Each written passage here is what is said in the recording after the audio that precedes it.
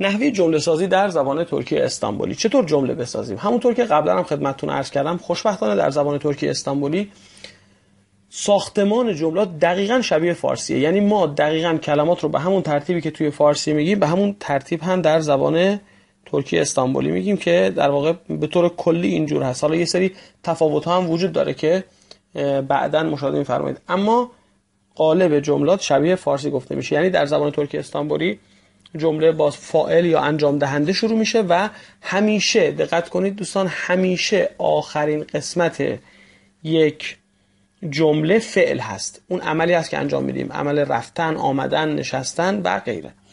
خب دقت بفرمایید جمله اول رو. بن اوه گیدیوروم. من به خانه می‌روم. من به خانه می‌روم. بن اوه یعنی به خانه گیدیوروم می‌روم. دقت بفرمایید همونطور که قبلا گفته بودیم زمایر فاعلی یعنی بن سن او بی سیز اونلار اینا قابل حذفن نیازی بهشون نداریم مثل فارسی. ما تو فارسی میگیم میرم خونه.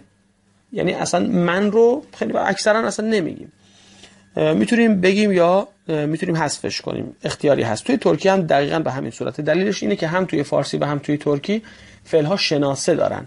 می‌روم یا گیدی و روم به این صورت.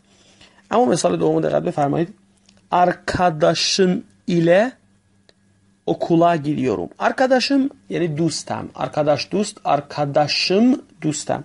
Arkadaşım ile yani با دوستم. Arkadaşım ile okula یعنی به مدرسه gidiyorum می‌روم با دوستم به مدرسه می‌روم با دوستم یا همراه دوستم به مدرسه می‌روم مثال بعد her gün her gün یعنی هر روز bir فیلم یک فیلم izliyorum izliyorum دوستان یعنی تماشا می‌کنم.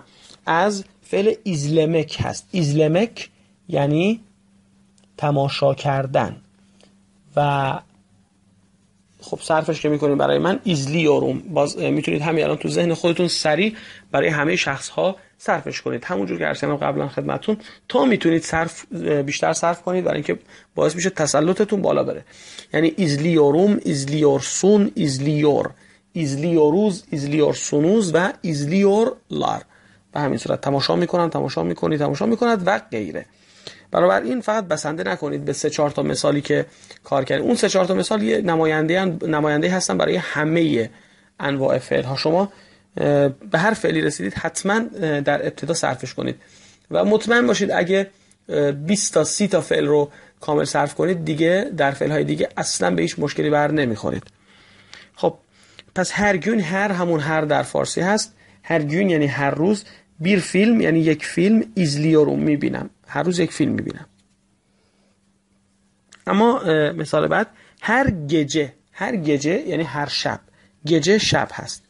هر گجه کتاب okuyorsun یا می‌تونستیم بگیم سن هر گجه کتاب okuyorsun یعنی تو هر شب کتاب می‌خونی. okuyorsun فعل okumak هست یعنی خوندن. سن هر گجه کتاب okuyorsun تو هر شب کتاب می‌خونی. ببینید دقیقا به ترتیب فارسی. تو هر شب کتاب می‌خونی.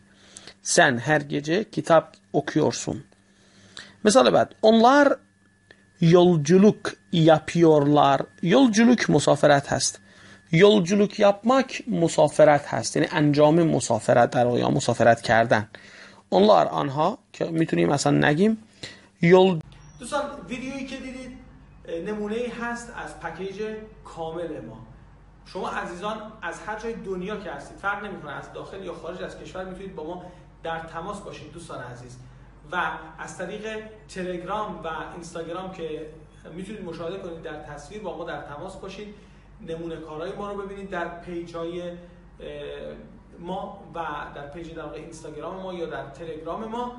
و پکیج کامل ما رو دریافت کنید دوستان.